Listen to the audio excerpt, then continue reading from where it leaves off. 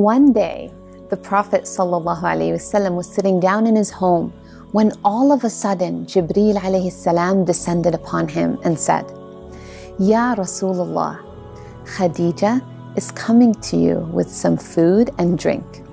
And when she reaches you, then greet her with salams on behalf of her Lord and myself, and give her glad tidings of a palace in Jannah made of pearls where there will be no commotion or fatigue. Subhanallah. Can you imagine that?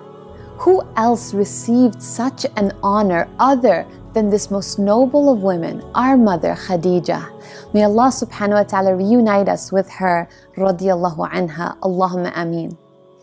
Imagine to have received salams from both Allah subhanahu wa ta'ala, the Lord of the worlds, our creator and sustainer himself, and Jibreel alayhi salam, al-Ruh al-Amin, whom Allah subhanahu wa ta'ala entrusted to bring down the revelation of the Quran to Muhammad sallallahu alayhi wasallam and ultimately all of mankind.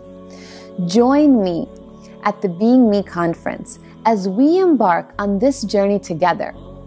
And I discuss how we can rise not only in the sight of Allah subhanahu wa ta'ala, but also in the sight of His creations by living and loving for a higher purpose.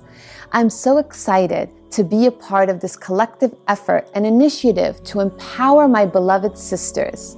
Inshallah, I will be having a book signing and something very special I'd like to share with you all.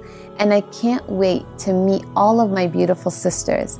Until then, Assalamu alaikum wa rahmatullahi wa barakatuh.